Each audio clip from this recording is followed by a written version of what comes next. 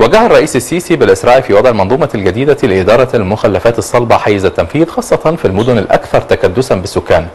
جاء ذلك خلال اجتماع الرئيس مع الوزراء والمسؤولين المعنيين حيث اطلع على الخطة التنفيذية للمنظومة الجديدة لإدارة المخلفات. وأوضح السفير بسام راضي المتحدث باسم رئاسة الجمهورية أن الرئيس وجه بضرورة أن يشعر المواطنون بتحسن ملموس في مجال النظافة وذلك في ضوء الأهمية القصوى التي توليها الدولة لصحة المواطن المصري وتحسين الأوضاع البيئية والصحية والمعيشية فضلا عن إبراز الوجه الحضاري الذي يليق بمصر وشعبها.